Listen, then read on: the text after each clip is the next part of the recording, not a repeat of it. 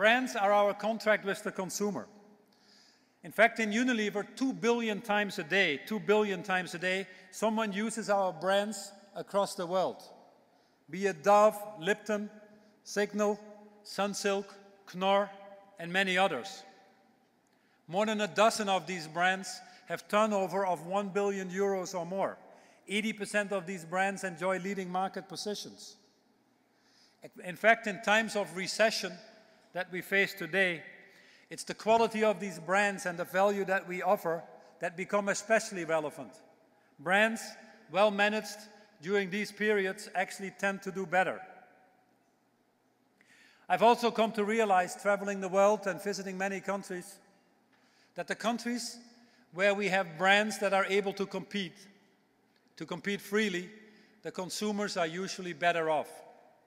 In that respect, it's equally important all over the world, including here, that we take firm measures against counterfeit to ensure that brands can thrive, an absolute important criteria for overall competitiveness. The second one is innovation. That should not surprise everybody. Innovation in our business is our lifeblood. It forces us to adapt to the ever-changing consumer needs, to stay a step ahead sometimes, to avoid the commoditization of our products. That's why we spend over 1 billion euros a year on R&D across our six laboratories in the world. And I just had the pleasure to open another one in Shanghai uh, recently. Innovation is what keeps a brand fresh and vibrant. It offers not only the functional benefits, but as well the emotional, increasingly importantly, also the longer-term sustainable benefits. In this respect, it is absolutely important that a country, any country, invests in its R&D and stimulates R&D, and that requires obviously an equal commitment to innovation as well, and to R&D and education. The third element I want to briefly cover is scale. Leveraging manufacturing or marketing skill allows us to deliver products at the right value to consumers. Essential if you want to be a mass producer and reach that many consumers to improve their lives. It's also an important multiplier of innovation. A product like Clear shampoo that you sell here in the kingdom, we've been able to roll that out to 40 countries in less than nine months' time. And there's obviously a softer side to scale, which is the transfer of ideas. To get scale, you need efficiency. And here again, a country can help. It can help cut down the red tape, make the dealings with governments easier, ensure that products that flow in and out of the region come in and out very quickly. How long will it take to get products through customs is one important measure for us of being able to leverage scale and to be successful. The third element is people, and that, the fourth element, sorry, is people, and that should come as no surprise to any of you here. Great companies invest in people, invest in people for the long term, and Unilever is no exception. I'm very pleased to see that here actually there are many people in the audience that are either Unilever or ex-Unilever employees that have moved on to other challenges. Whether in training, development, or other support, we do take the long-term view of investing in our 165,000 wonderful people worldwide. In that respect, for countries, it is equally important to invest in the people, to invest in education, and to invest in all people. And diversity in this respect is a key driver of competitiveness. Don't underestimate that. Um, I, would, I would actually um, uh, disagree with the statement companies are leading, consumers are following. It's obviously, uh, in some cases, companies are leading, in other cases, consumers are actually leading.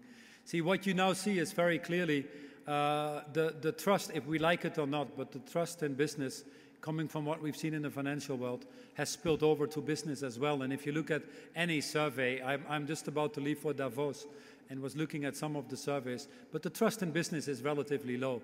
Uh, Uh, 50% of the people is, uh, don't trust business people anymore to act in the interest of society. That's pretty sad.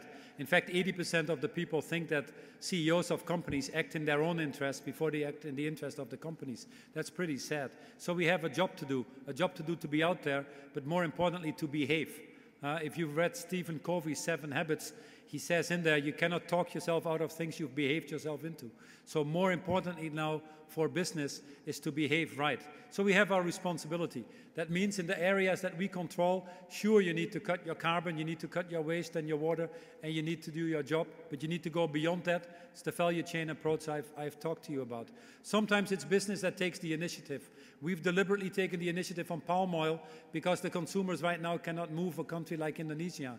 Businesses are able to work with the World Bank, with the governments, uh, provide alternatives and move that forward. I firmly believe that. In other areas, the consumer leads. Very simple.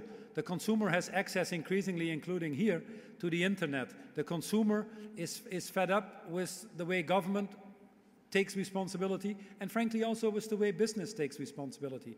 And they're increasingly empowered. And they understand with their social networks increasingly the power of the consumer and you see the consumers demanding change. Now, what is very clear is the consumer will always say in any survey, I want a good product and a good value. Lipton, first and foremost, has to taste good because it's an enjoyable moment and it has to be the right value. But if on top of that you provide benefits that are responsible behavior for society, I want to make my contribution. When we moved to the sustainable tea with the Rainforest Alliance in, uh, on Lipton, some people thought it was a better tea because it was sustainable, but we saw the volumes going up 8 to 10% because people said it's good tea, it's good value, but now it's also a little bit more responsible. A brand like Ben & Jerry's, which is one of our ice creams, which is half a billion going towards 1 billion in turnover, is totally built on so, uh, corporate social responsibility in the sense of a carbon-free model. And consumers, we do surveys, they say, yeah, Ben & Jerry's might be an ice cream that tastes as good as another ice cream, but on top of that, it's a socially responsible company. I'm going to buy Ben & Jerry's. So consumers increasingly are voting. In some cases, it's easy for them. When they see a detergent that uses less energy, they save money. You point out that they can save so much and they get the same cleaning, they'll go for this as well. So you have to provide the benefits to them, but the, the consumer is farther ahead than what we think. And by the way, we're all consumers, as a slight detail.